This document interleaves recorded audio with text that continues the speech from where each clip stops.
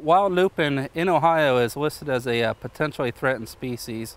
Uh, what that means is within uh, the state it's not very common and only found in select habitats. One of its requirements is you know it likes sandy areas and not much competition from other plants.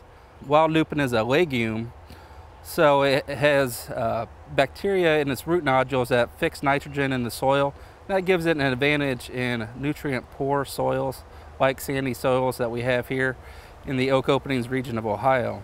So in these uh, old sand dunes uh, west of Toledo here, it can compete really well on the, the tops of sand dunes and wherever nutrients are poor and it's got lots of sun. And another cool thing, since it's a rare plant, it's also a, uh, a larval host for several rare species of butterflies, um, including the frosted elfin and the federally endangered Karner blue butterfly.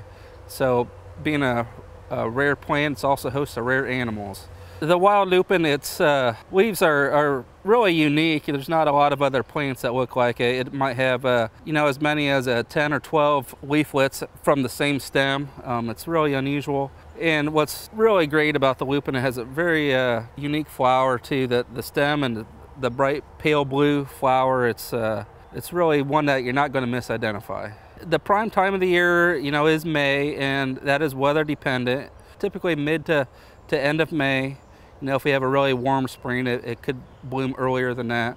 And there are several spots along the way that you'll be able to see lupin right along the trail.